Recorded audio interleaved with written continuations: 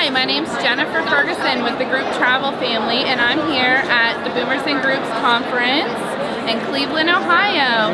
And we have Tammy here from Lakefront Lines. Tammy, explain what do you do? I am a group tour coordinator with Lakefront Lines. We are a motor coach slash tour operator. Okay. Um, we deal with a variety of groups, uh, students, seniors, boomers, everything. Anybody. Anybody. Uh, um, we have um, several different divisions at Lakefront. We have the preform group with the group department, which I am in. Okay. We also have a charter department, which deals with uh, the groups on their own, and they just get the bus only from us. Okay. And then we have a third division is our retail department, Okay. where individuals call in for the pre-scheduled trips that are available there.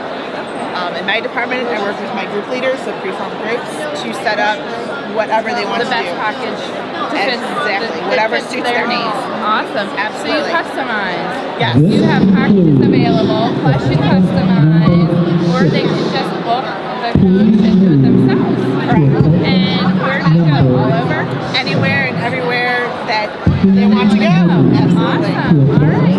Well, is this your first time it. Okay. What do you think so far?